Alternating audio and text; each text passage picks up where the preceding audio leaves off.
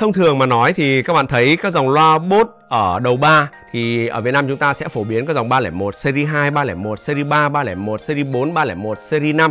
Thì trong đó 301 series 2 và 301 series 3 cùng trường phái âm thanh nó hướng đến âm thanh đó là tiếng bass đanh chắc và âm thanh của nó chính xác và rất là bóc tách các giải âm.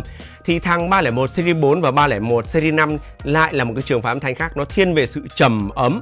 Đấy, nếu như mà các bạn theo dõi kênh của tôi thì tôi đã có video clip so sánh 301 series 2 301 series 3 301 series 4 với 301 series 5 rồi các bạn có thể vào YouTube gõ cái từ khóa tìm kiếm là cương audio so sánh bốt để các bạn sẽ thấy cái video đó.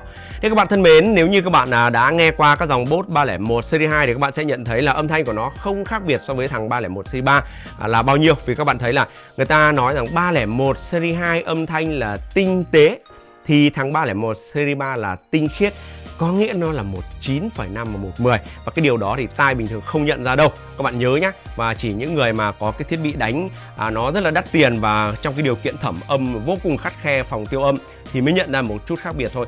Còn nếu như các bạn mà muốn một cặp loa nghe nhạc hay và có thể hát karaoke hay với mức giá chi phí phù hợp lại là thương hiệu bốt Mỹ thì 301 series 2 là một trong những sự lựa chọn mà các bạn thấy luôn luôn là anh em bán nhiều 301 series 3 nhưng lại rất ít người có 301 series 2 để bán.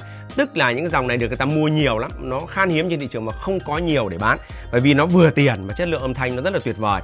Cho nên các bạn thấy à, có nhiều anh em cũng hỏi tôi là thế thì những cái cặp loa còn nguyên thùng nó có hay hơn những cặp loa mà nó không còn thùng không? Thì xin thưa các bạn là nếu như cùng model tức là cùng mẫu đấy thì những cặp còn nguyên thùng thì chắc chắn là sẽ không hay hơn những cặp mà không còn thùng. Ở cái khía cạnh là nếu như hai cặp loa có cùng chất lượng như nhau. Nhưng nếu như trong trường hợp mà cặp loa còn thùng và nó ít sử dụng và tức là uh, âm thanh của nó còn giống như âm thanh xuất xưởng nó không bị quăng quật như những cái cặp khác ví dụ đại khái kiểu kiểu vậy. Thì đương nhiên chất lượng âm thanh của nó phải chuẩn chỉ hơn. Thì đó là một trong những lý do mà rất nhiều anh em thợ là khi bán những cặp loa bất cứ cái loa nào thì mà loa bãi ấy, mà còn thùng xốp thì thường thường bán đắt hơn. Đấy một chút có thể là hơn một triệu 2 triệu tùy theo mẫu tùy theo dòng. Thế thì các bạn nhìn thấy trước mắt là 301 series 2 màu vàng. Đấy, đây là cặp loa còn nguyên cả cái thùng đi theo. Thế thì các bạn thấy là tại sao những cặp này có nó đắt hơn một chút? Thì đối với cặp này tôi bán 11 triệu 500 ngàn đồng. Đấy, 11 triệu 500 ngàn đồng bởi vì tôi nhập vào cũng khá cao. Và các bạn thấy là nó cũng không cao so với những người mà chơi loa bốt. Chúng ta nhận thấy cả những cặp loa này Nếu như ở thời điểm hiện tại các bạn mua thì nó cũng loanh quanh khoảng 10 triệu hoặc 10 triệu 500 Nếu như không còn thùng.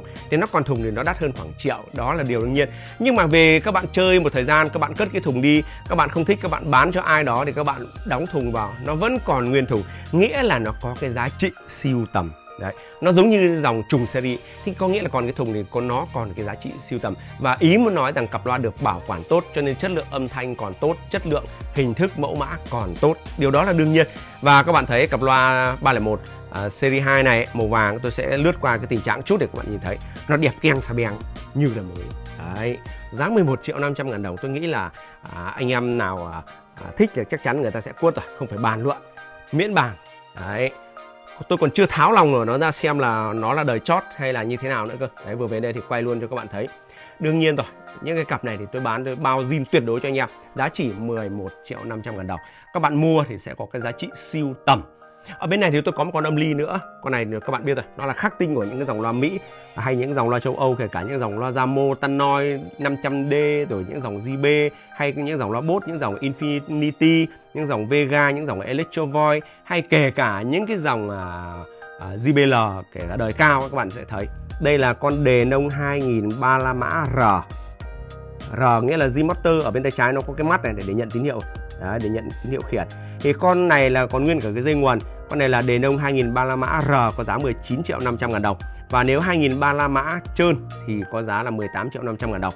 Các bạn sẽ thấy đây là một trong dòng có tính năng đánh bi dai bi am đánh vào những cái dòng loa Tannoy D500 này kìa hay những dòng à, RVK này này. Hay những thằng JBL 100T bạo lực về tiếng bass này này các bạn thấy nó đều đáp ứng được kể cả đánh vào cái dòng loa bốt à, uh, 363 này này. Đấy, đánh vào bốt 363 còn nguyên chân đế này này.